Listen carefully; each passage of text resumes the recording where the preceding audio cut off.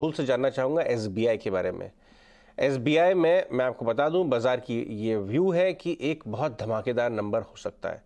भाव अभी रिफ्लेक्ट शायद ना कर रहा हो। ये बाज़ार की उम्मीद है। ना उम्मीद भी हो सकता है, इसलिए ये सोच के, क्योंकि मैं बात कर रहा हूँ, आप कुछ करना लें। आप अपने रिसर्च करें, लेकिन बाज़ार की उम्मीद है कि शायद नंबर अच्छा हो। बी ने ऑलरेडी अच्छा दिया है। भाव ऊपर से घटा हुआ है।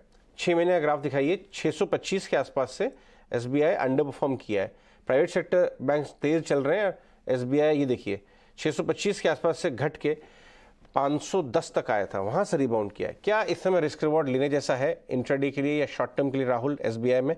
क्योंकि मैं आपसे पूछ रहा हूँ क्योंकि आप पॉजिटिव थे पीएसयूज पे।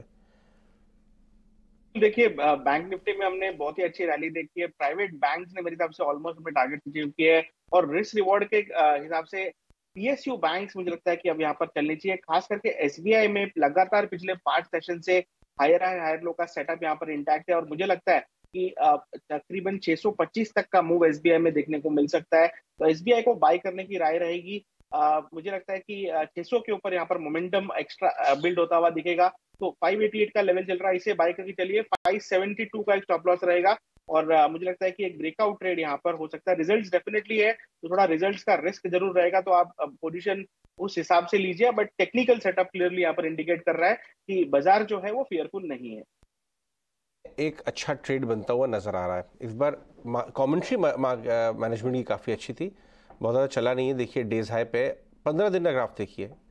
नीचे में 903 वाला 927 पंद्रह बीस रुपये चला है। लेकिन पहले बड़ा भाव हुआ करता था। राहुल, सिप्ला में एक कॉन्ट्राबेट देंगे अब क्योंकि फार्मा धीरे धीरे फ्लेवर में आ रहा है। इसके चार्ट्स कैसे देखते हैं इस भाव से? जी, देखिए फ्लो ग्रेजुअल यहाँ पर एक रिकवरी करने की कोशिश है सिप्ला के अंदर। ओवरऑल फार्मा सेक्टर को अंडर परफॉर्म किया है इसने।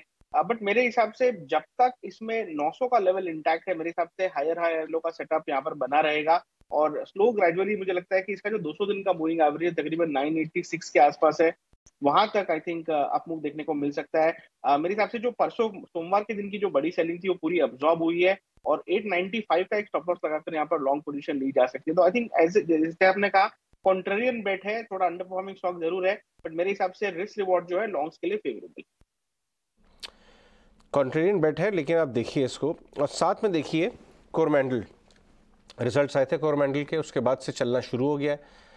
एक महीने में सात, साढ़े सात परसेंट ऑलरेडी चला हुआ है, लेकिन उसमें देखिए आज ही तीन परसेंट डेज़ हाई की तरफ़ जा रहा है। नीचे ये करीब करीब नौ सौ साठ बयासी के आसपास वहाँ तक घूमा। यानी आए डिप बॉट हुई है। सुमित कोरमेंडल के चार्ट्स हज़ार क्रॉस तो लग रहा है अभी की हो जाएँगे, लेकिन क्या हज़ार बीस, हज़ार पचास के लिए एक व्यू ले सकते हैं इसमें? जी, बिल्कुल अजय जी चार्ट बहुत ही पॉजिटिव है। देखिए 931 के करीबन स्टॉक ने अपना एक अच्छा खासा बेस बनाया हुआ था और वहीं पे ही सस्टेन कर रहा था। पिछले आठ से दस सेशन में अच्छा मूवमेंट दिखाया। कल भी स्टॉक का ओपन लो था, आज भी स्टॉक का ओपन लो है।